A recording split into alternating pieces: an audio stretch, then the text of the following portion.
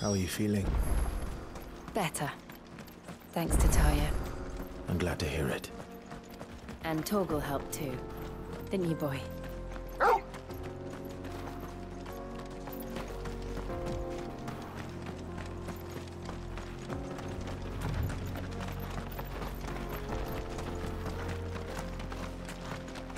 This used to be a trade route for merchants crossing the Scars. Till the Republic laid a new road wide enough to let wagons pass. And all official traffic moved there. Leaving this one for those living outside the law. Indeed. I doubt we'll be the only outlaws on the trail today.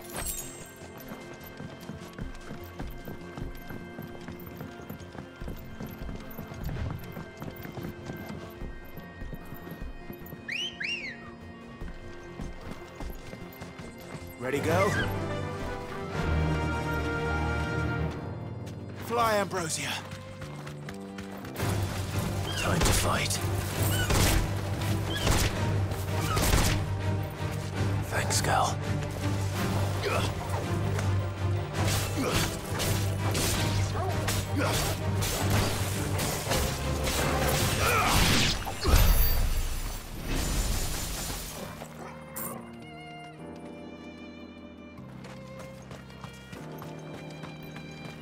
What do you think?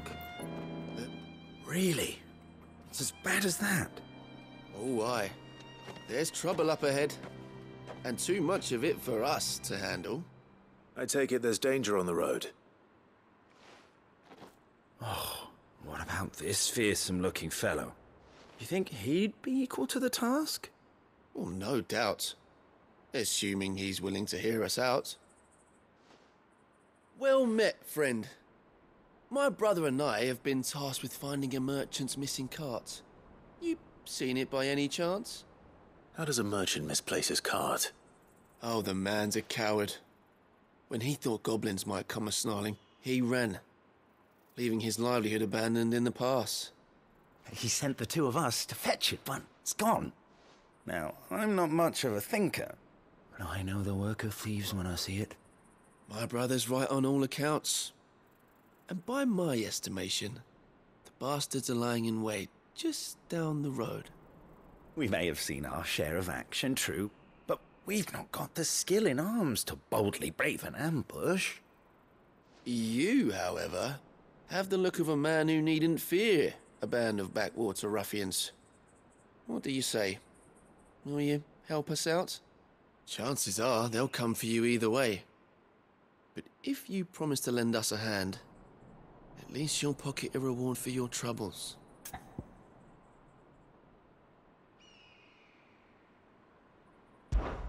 Well, if I'm going to have to deal with them anyway, You've clearly got a fine head on those broad shoulders. We're lucky you came along. Now, hoping to make a heavy purse in Boklad, our merchant friend loaded his cart with as much as it would carry. Reckon he won't be forking over the rest of our fee if we don't find those goods. So, while you're seeing to those bandits, you keep your eyes open. all right. Just don't expect me to drag the cart out of there myself. No, no. Uh, you can leave the cart to us. You just put an end to those bandits and point us in the right direction. You do that, we'll take care of the rest.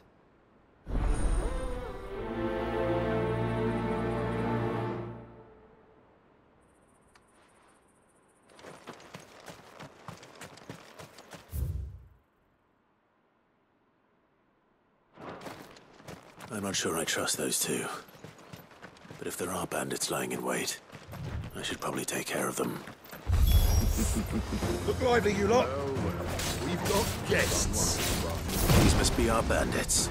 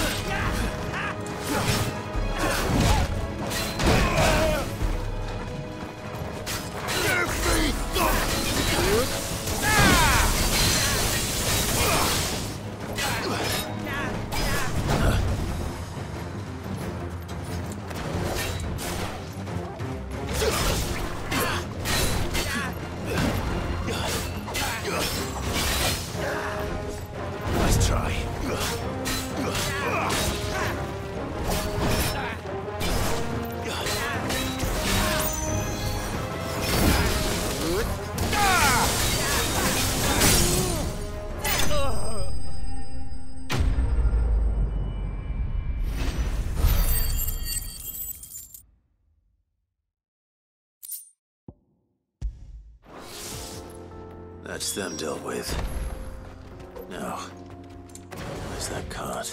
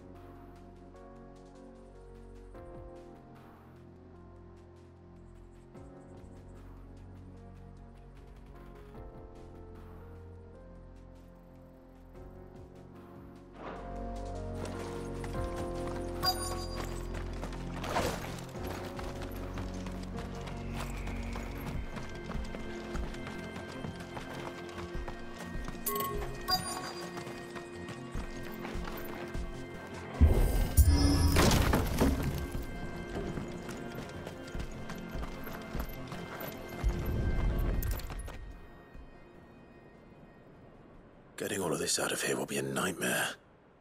Seems we found ourselves the right man for the job, wouldn't you say? Found the cart and didn't leave a single bastard breathing. Our merchant friend will be delighted. And how exactly will he be getting his goods out of here? You leave that to us. After all, it'd be wrong to make such a fine warrior haul cabbages to market. You've done your part. And that's all you need to worry about. Here.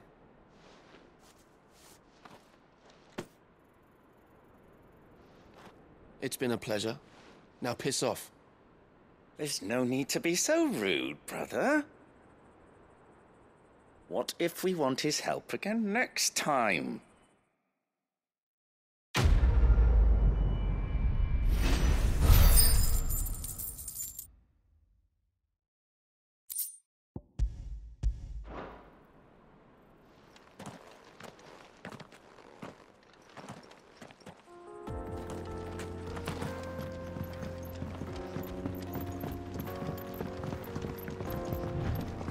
I see the Dalmex lag behind Rosaria when it comes to bridge building. The fallen ruin should hold at least. The path continues on the other side.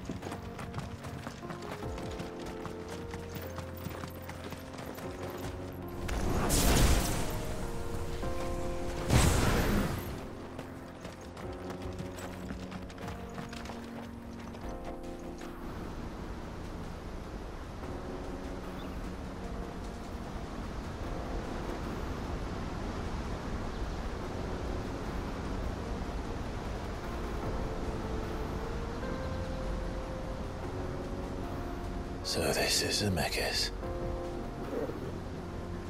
A land of the gods. It's even more impressive than I imagined. I remember being captivated by the story as a child. Long, long ago, man was overcome by avarice and challenged the gods in a bid to win their power. The final battle took place here, at these falls. Or so the legend goes. If anyone ever manages to plumb those depths, Perhaps we'll learn if there's any truth to the tale. That the gods emerged victorious and punished man for his defiance by visiting upon him two curses. Dominants in bearers. Tell the truth, I always thought it strange that the dominants and their icons were deemed a curse. Back home, the dominant inherited the throne. They were admired and exalted, not spurned. Whenever I got to that part of the story, I always assumed there must be something I'd misunderstood. You had a lot of storybooks, didn't you? In your room, I mean. When we were young. The old legends were always my favorites. Epic battles between gods and men. Father encouraged me to read as much as I could. He thought it good for my education. You really were a boy like any other, weren't you?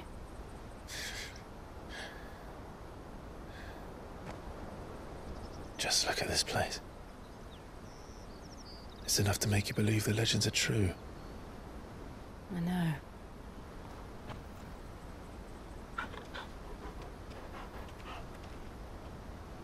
We're not far from Boklad. The road will be busier up ahead.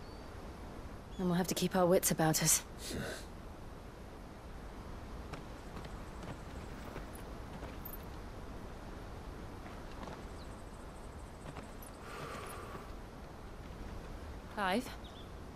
Something wrong?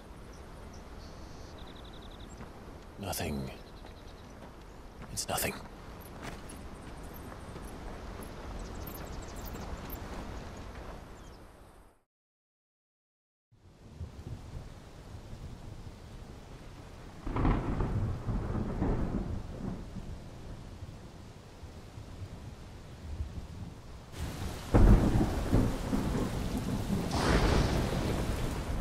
See the reports are true, Father. You have surrendered the throne to Olivier. I have. Emperor Olivier shall rebuild the Holy Empire of Sanbreque.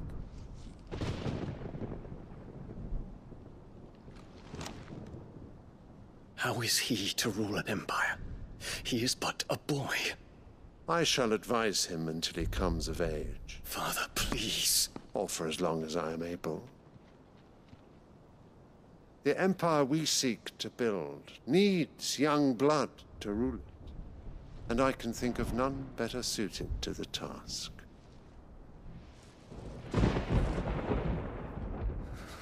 There is other news, Dion. Hugo Kupka is dead, and Drake's Fang destroyed. The pillars of the Republic have fallen. Ere long, the Imperial banner shall fly over every city in storm. And then Valisthea. All shall bow before their Emperor. Father, these are the words of a tyrant. They are the words of a god. The Emperor whom I gladly serve. Great Greagor, made flesh.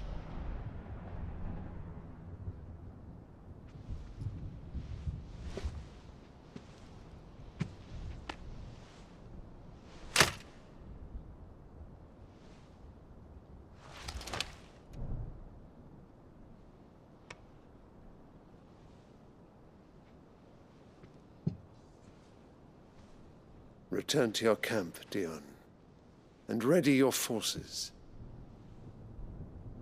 It is time to show the world the true power of Sanbreque. Father. I find you much changed. Is this truly the path you wish to tread? Or are these the ambitions of another? Of Ultima, perhaps. What nonsense is this? I speak my mind, and my mind only. Though I do owe Anabella thanks for reminding me of certain truths regarding the nature of nations, of rulers, and of the divine. You would trust the words of this traitress? She betrayed her country. She slew her husband.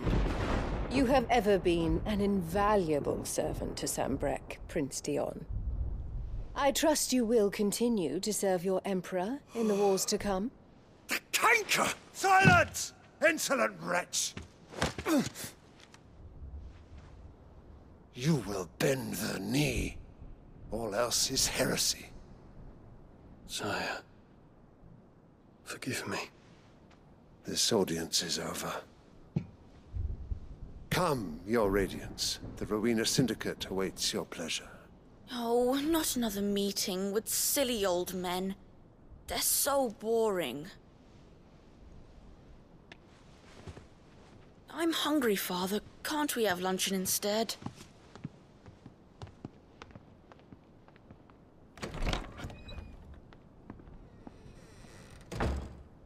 Does it pain you that you will not inherit your father's throne? I have suffered worse.